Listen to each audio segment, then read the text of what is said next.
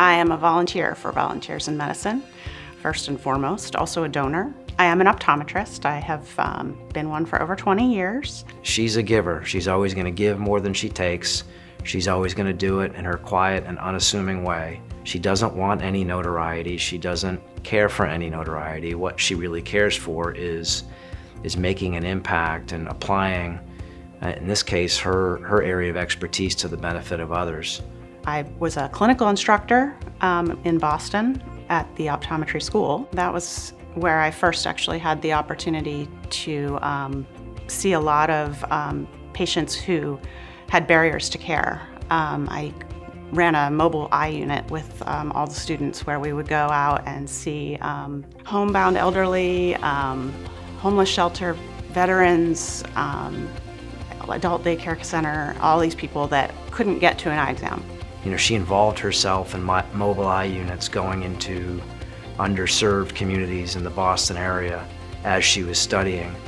And consistently through graduate school and through her uh, through her, her work in optometry, that has always been a big part of, of how she's applied herself. And certainly Volunteers in Medicine is at the forefront of that here in Jacksonville. To see someone when they get a new pair of glasses and can see well again, the excitement is, you know, so obvious um, on their faces. So it's, it's a real pleasure to be able to provide that service.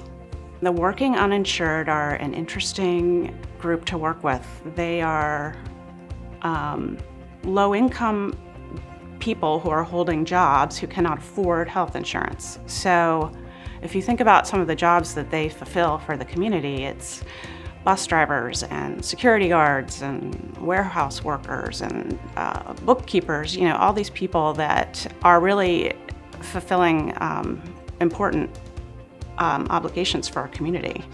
And um, vision care is actually extremely important to them. Um, if you think about a bus driver, for example, you know, that person having a good eyeglass prescription and seeing well is important to all of us. Chocolate. I guess that's everybody's guilty pleasure. See, there's always a healthy dose of Ghirardellis in our house. Oh, yeah. But I steal those, so that's my guilty pleasure. I collected beer cans as a child. and that is a really random thing, and I don't think anyone knows that about me except for my dad. I used to go to his races with him. He was an amateur race car driver.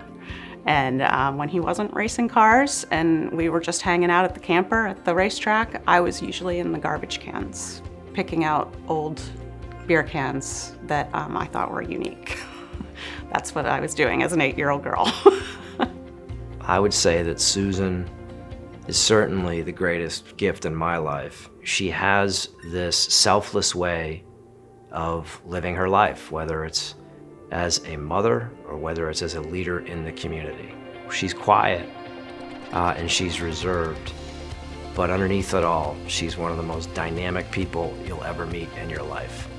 And she never ceases to amaze me.